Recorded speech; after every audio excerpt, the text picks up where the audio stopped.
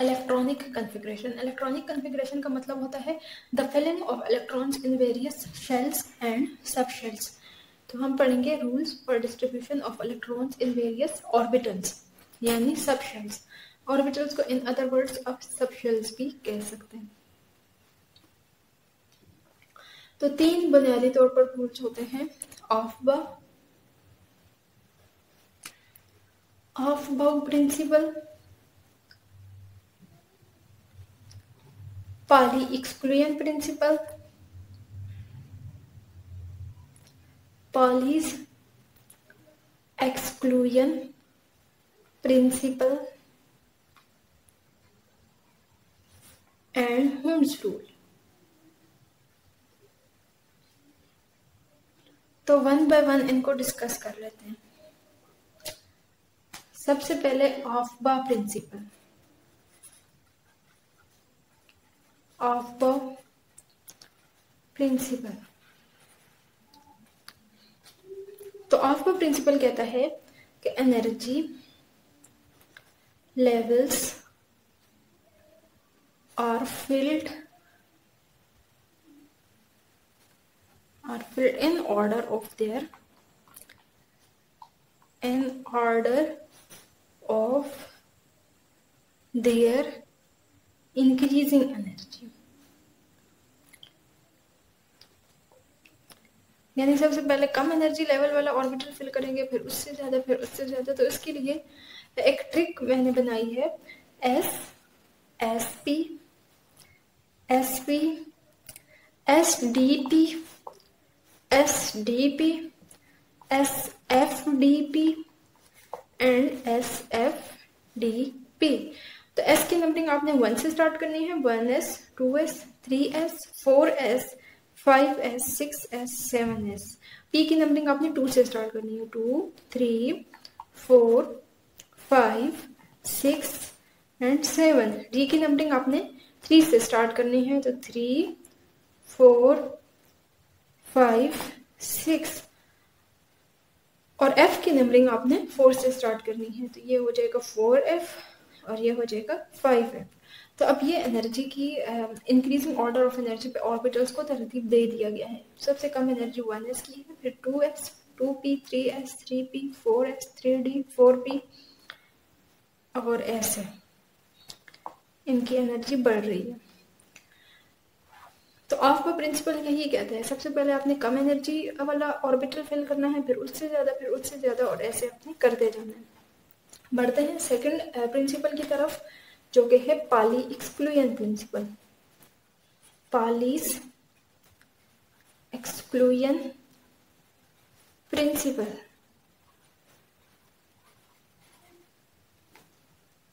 अच्छा Pauli exclusion principal समझने से पहले आपको एक और बात बता दूँ कि एस ऑर्बिटल की कोई ओरिएंटेशन नहीं होती, ये स्फेरिकल होता है। स्फेरिकल होता है, यानी ये ऐसे स्फेरिकल होते हैं। जबकि पी ऑर्बिटल्स की तीन ओरिएंटेशन होती है P X P Y and P C कुल मिला के इसकी तीन ओरिएंटेशन होती हैं।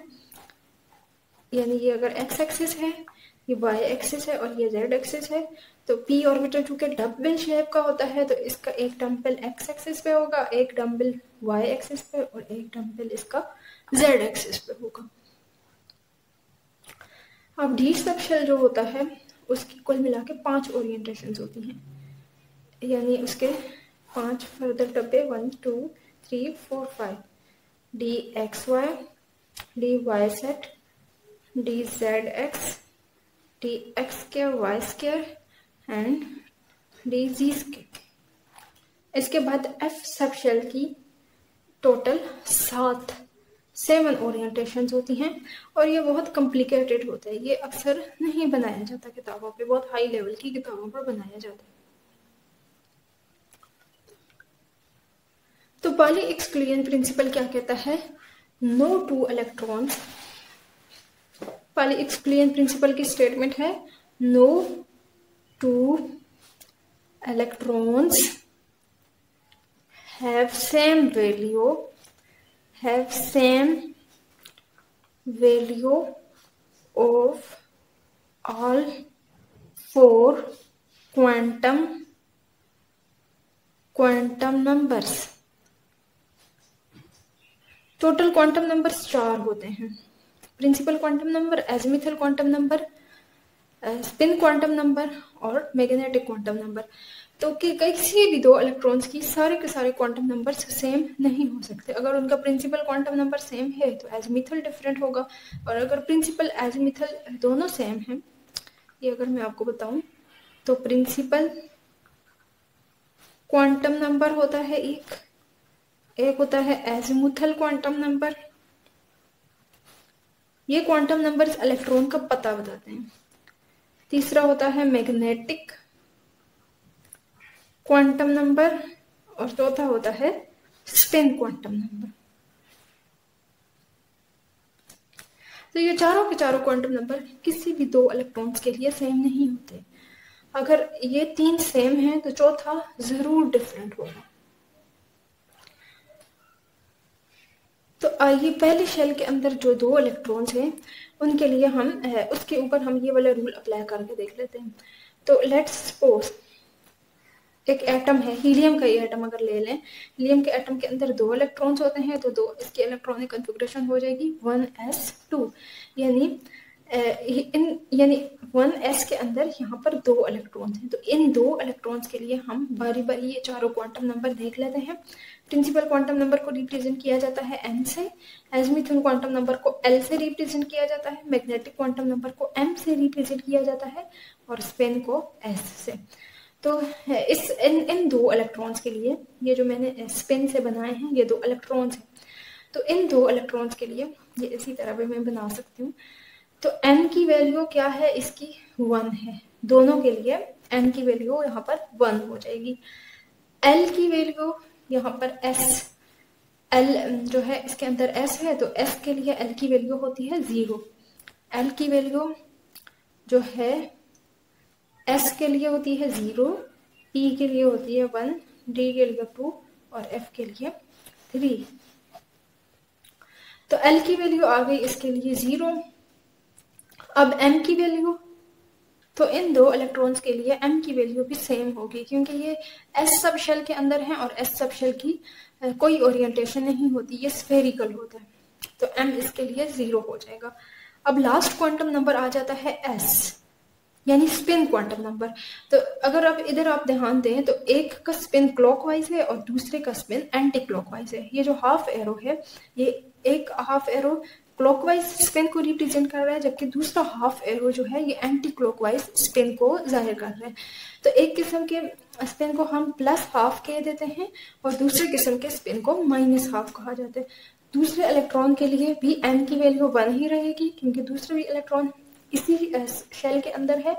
एल की वैल्यू उसके लिए भी ज़ीरो ही रहेगी, क्योंकि एस सब शेल के अंदर ही है। एम की वैल्यू ज़ीरो रहेगी, क्योंकि एस ऑर्बिटल स्फेरिकल होता है।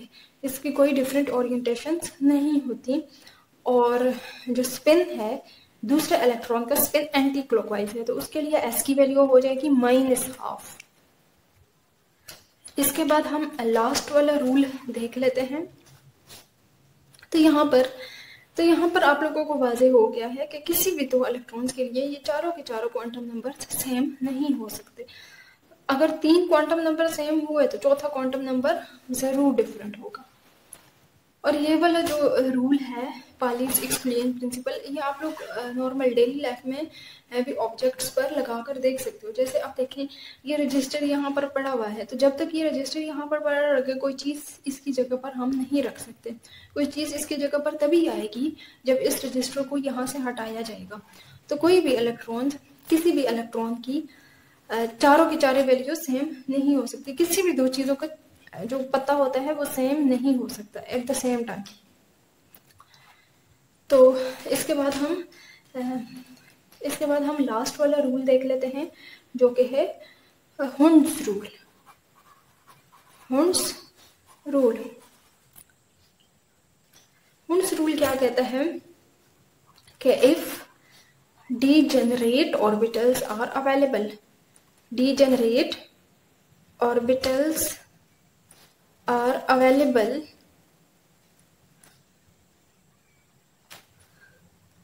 then electrons would like would like to live in live in separate orbitals separate orbitals with same spin. Same spin जैसे डिजेनरेट ऑर्बिटल्स का मतलब होता है कि having same energy having same energy यानी अगर एनर्जी ऑर्बिटल्स की सेम हो। अब हम ऑक्सीजन के लिए देख लेते हैं तो ऑक्सीजन के अंदर आठ इलेक्ट्रॉन्स होते हैं। इसकी इलेक्ट्रॉनिक कन्फिग्रेशन हो जाएगी one S two two S two two P two P four two P four हो जाएगा। तो इसको अगर हम ऐसे लिखें, ये वन एस वाला ऑर्बिटल है, ये टू एस वाला और पी जो ऑर्बिटल है, उसके तीन ओरिएंटेशन होते हैं P X P Y and P G तो ये दो इलेक्ट्रॉन्स तो इसी के अंदर आ जाएँगे। ये दो इसके अंदर, अब पी के अंदर चार इलेक्ट्रॉन्स हैं। तो चार इलेक्ट्रॉन्स को आपने पहले सब के अंदर एक एक फिल करना है और फिर एक बच गया है तो अब डबल कर देना है। यानी इलेक्ट्रॉन्स पहले सब के अंदर सिंगली फिल होंगे और फिर सब के अंदर एक जैसे फिल हो गए तो फिर तब डबलिंग होगी। तो ये था हुंड्स रूल